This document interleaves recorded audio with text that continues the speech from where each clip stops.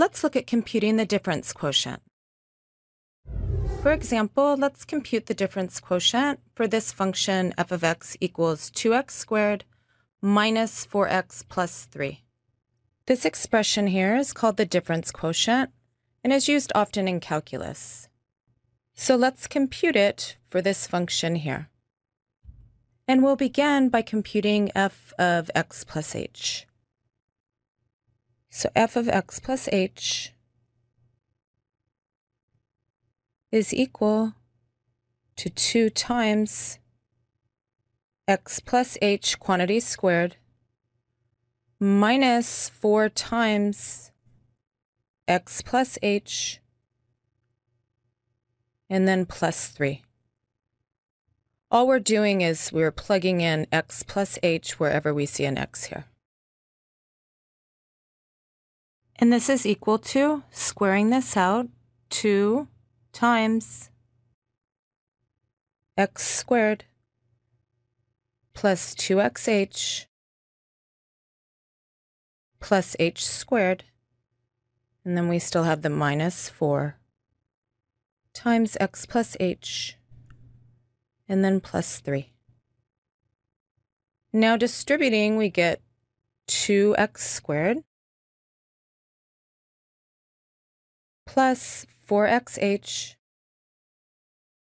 plus 2h squared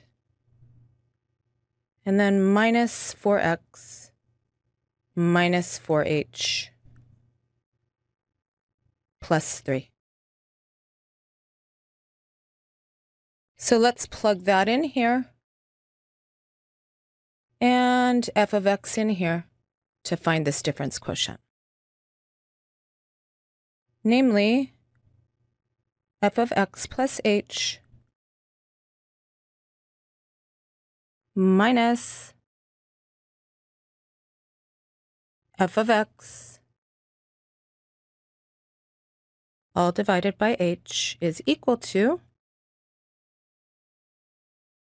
this 2x squared plus 4xh plus 2h squared minus 4x minus 4h plus 3 minus f of x, which is this 2x squared, minus 4x plus 3.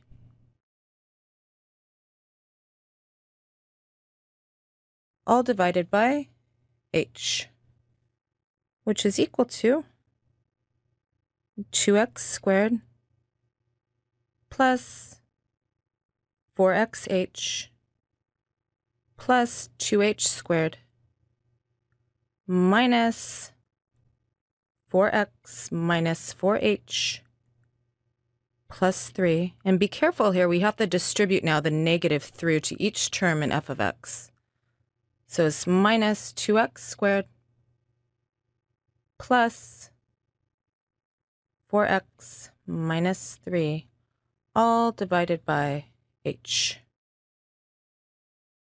Now combining like terms, this 2x squared minus 2x squared is 0, they'll cancel, as well as this minus 4x and positive 4x. And same with the plus 3 minus 3. Now the remaining three terms here in the numerator all have an h in them, so we can factor that out. In other words, this is equal to h times 4x plus 2h minus 4 all divided by h. And because h is not equal to 0, we can cancel the h's.